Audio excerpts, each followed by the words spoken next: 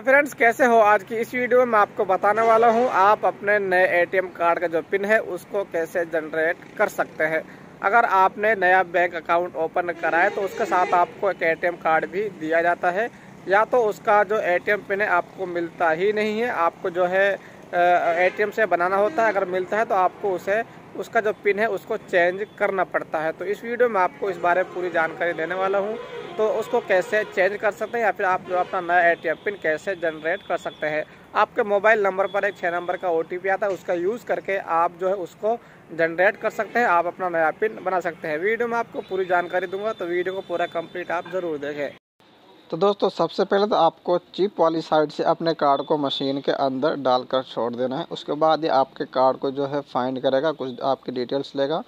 उसके बाद यहाँ पर आपको डिस्प्ले पर जो है नज़र रखनी है। यहाँ पर आपके सामने कुछ इस तरीके का आएगा यहाँ पर आपको अपनी भाषा सेलेक्ट करनी है। हमने इंग्लिश सेलेक्ट कर ली है। उसके बाद यहाँ पर नीचे ऑप्शन मिलेगा सेट यूर पिन तो आपको इस पर आपको इसे टच करना है। तो उसके बाद आपको यहाँ पर जो आपके नंबर पर छः नंबर का ओ आता है, वो नंबर आपको यहाँ पर भरना है। जो आपके मोबाइल नंबर पर बैंक की तरफ़ से एक छः नंबर पर ओटीपी जो है भेज दिया जाता है। पहले ही आपको छः नंबर यहाँ पर इंटर कर देने हैं। उसके बाद इंटर करने बाद आपको कंफर्म कर देना है।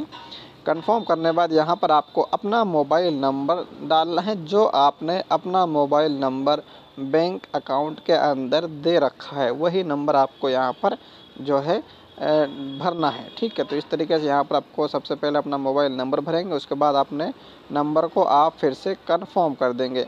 कंफर्म करने के बाद आपको थोड़ा सा वेट करना होगा, यहाँ पर थोड़ा सा प्रोसेस होगा। उसके बाद यहाँ पर आप enter enter your new four digit ATM pin आप यहाँ पर चार नंबर का अपना पिन बना सकते हैं। किसी बैंक के अंदर आपको छः नंबर का भी बनाना होता आप कोई भी अपने मन के हिसाब से पिन बना सकते हैं। तो हमने यहाँ पर बना लिया है। फिर से आप री इंटर करेंगे। उसी पिन को जो आपने पहले बनाया है सेम आपको वही पिन फिर से भरना है। यहाँ पर आपको कोई सिंपल पिन नहीं बनाना है। आपको अच्छे तरीके से स्ट्रॉन्ग पिन आप बनाएँ। तो इस तरीके से आपका पिन जो बन जाएगा अभी थोड़ा सा वेट करेगा तो थोड़ी देर में ही जो आपका पिन है सक्सेसफुल यहाँ पर लिखाएगा।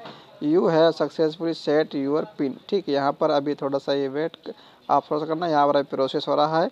तो इस तरीके से आप जो है, मैंने बनाया एचडीएफसी बैंक के एटीएम कार्ड का पिन तो आप भी इसी तरीके से अपना पिन बना सकते हैं।